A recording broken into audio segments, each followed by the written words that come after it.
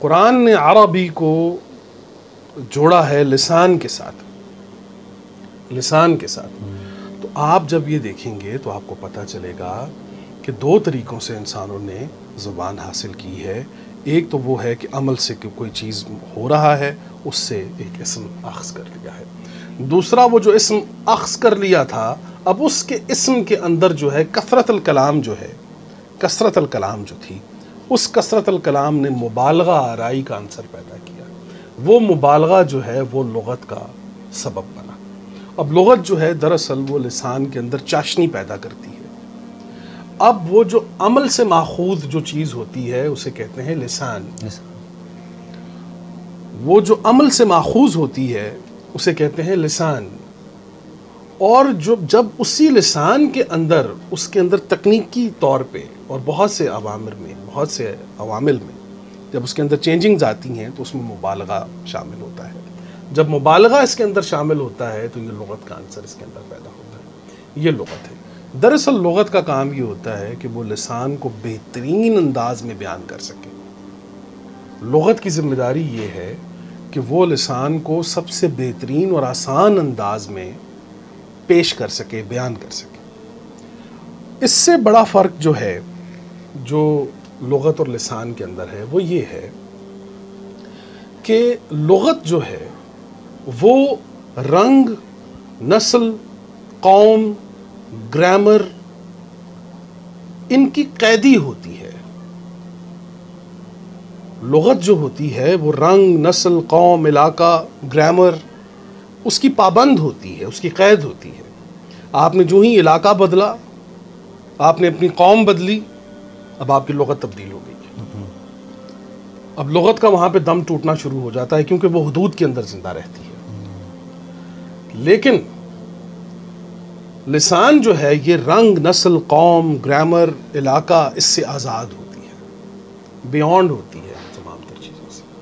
वो क्यों बियॉन्ड होती है? वो इसलिए होती है कि लिसान जो है, वो सफ़र करती है कॉन्सेप्ट्स एंड लेसन्स के ऊपर।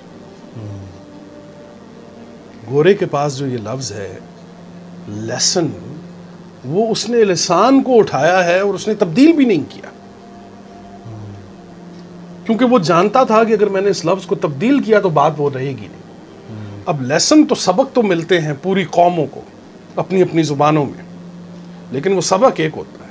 नहीं लिसान सबक भी ट्रांसफ़र करने का एक ज़रिया है। जी असल में लिसान जो है कुरान ने क्यों कहा है? लिसान अरबी। लिसान अरबी। अब दो मकाम पर आपको पता चलेगा कि लिसान क्यों कॉन्सेप्ट्स और लेसन्स के ऊपर जो है वो लसान को क्यों कहा गया है कि ये सफ़र करती है लसान कॉन्सेप्ट्स और लेसन्स के ऊपर। वो इसलिए कि कुरान करीम में दो मकाम पर है। लसान सिद्क अलिया। वहाँ पे आपको दो लफ्ज़ मिलेंगे लसान के साथ। सिद्क व अलिया अलिया। तो उसमें क्या है कि लसान के अंदर जो सबसे पहली चीज़ पाई जाएगी, वो सदाकत और सरबुलती है। सदाकत एक यूनिवर्सल लॉ है।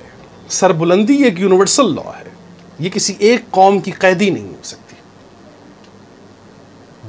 सरबुलंदी जो है वो तमाम इंसानों का हक है। सदाकत जो है वो तमाम इंसानों का हक है। लसान के साथ आपको ये तारीफ़ कुरान के अंदर मिलेगी। लसान के लफ्ज़ के साथ सिद्क वलिया कि उसके अंदर सदाकत है और अलियत है। वो इब्राहिम सलाम की जब कुरान बात करता चला जाता है तो वहाँ पर वो सिद्क वलिया की बात करता है। कि लसान उनको दी है कि जिसके अंदर सिद्कन वालिया तो ज़ुबानें जो हैं, लगात जो हैं, वो लसान की मोहताज होती हैं। लसान किसी लगत की मोहताज नहीं होती।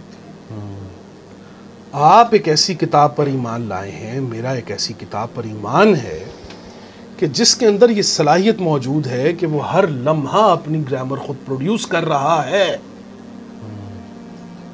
कुरान हर लम्हा अपनी ग्रामर खुद प्रोड्यूस कर रहा है।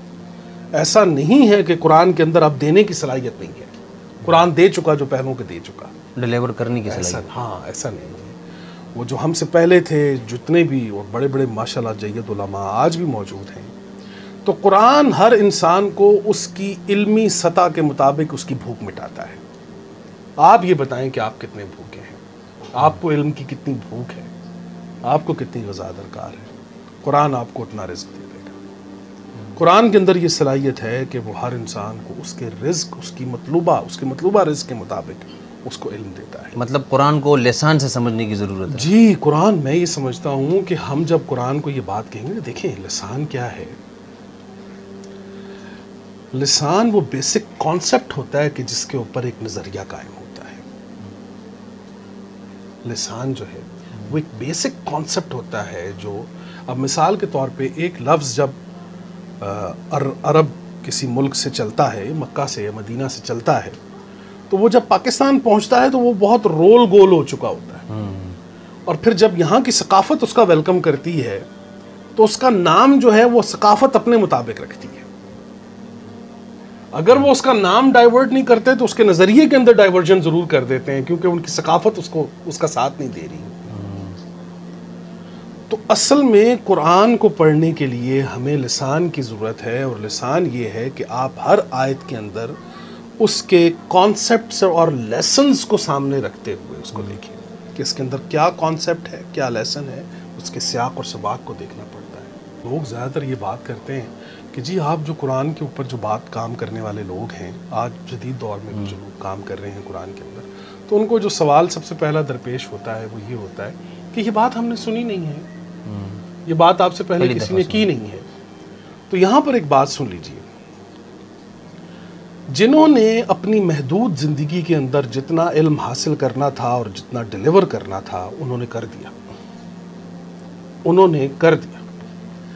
दरअसल जो शख्स ये कह रहा है कि हमने ये सुनी नहीं तो अब इसका मतलब ये है कि वो सबका उलूम को सुनने के बाद जदीद उलूम को सुनने के लिए तैयार नहीं उन्होंने जितना कहना था, उन्होंने कह दिया। इसका मतलब ये है कि कहने वाले तो आज भी मौजूद हैं, करने वाले तो आज भी मौजूद हैं। आप सुनने के लिए तैयार नहीं हैं। अगर आप सुनने वाले हैं तो कुरान तो आज भी बोल रहा है। वो कौमें जो ज़िंदा किताब की कदर कर रही हैं, जो उसको सुन रही हैं, अल्लाह उनको ज़ितें बख्शा है। कुरान देगा।